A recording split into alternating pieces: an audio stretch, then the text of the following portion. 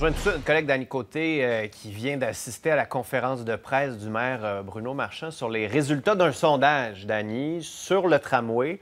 On voit que les chiffres n'ont pas beaucoup bougé.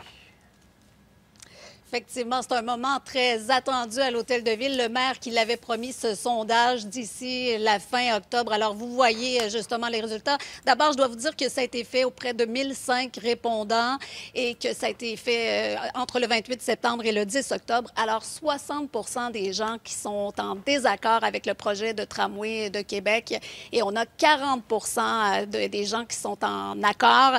Si on compare avec un autre sondage qui avait été réalisé à l'automne 2020, on a perdu deux points.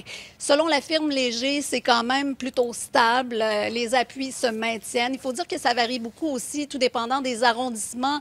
Là où le tramway va circuler, on est en faveur euh, davantage, mais euh, là où il ne circulera pas, c'est plus bas finalement. Alors pour le maire aujourd'hui, il dit ces résultats, ce n'est pas, ces résultats ne sont pas, une, catastrophe.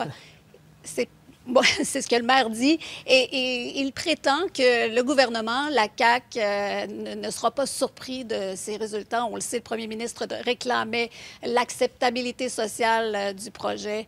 On écoute le maire.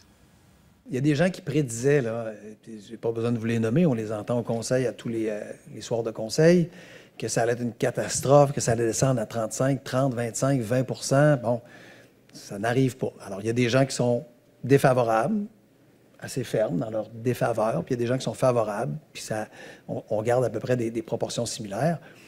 On peut pas, on peut pas construire un projet en se disant si tout le monde n'est pas d'accord ou si on n'a pas des gens qui, pour lesquels il n'en bénéficie pas, qui ne sont pas d'accord, on ne fera pas. Sinon, on ne fera rien.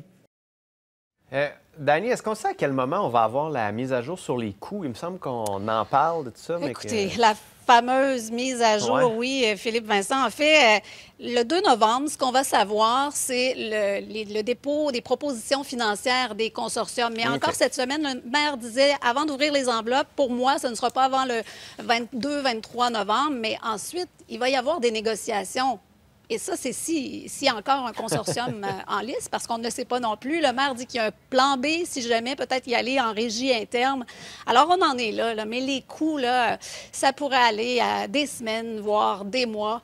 Alors que le maire, lui, dit toujours qu'il faut que ce soit, qu'il faut que ça se fasse, ce projet-là, parce que sinon, on va perdre l'argent à Québec. Ce sont les autres provinces qui vont en profiter. Alors, voilà où on en est euh, en ce moment à Québec. Merci, Dani. Salut. Au revoir.